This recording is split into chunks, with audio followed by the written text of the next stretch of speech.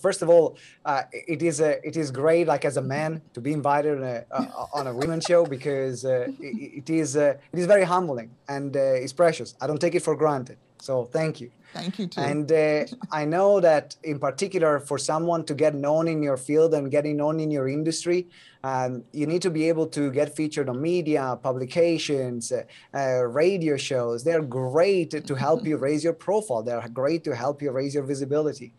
And that's why we have uh, curated a database with uh, more than 700 publications, blogs, podcasts that you can reach out to.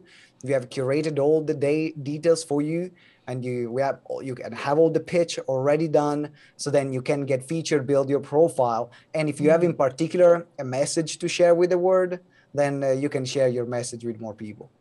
Okay i know that we have a link that you gave us and i'm going to um, have the link on the screen and it's going to be on my facebook page as well.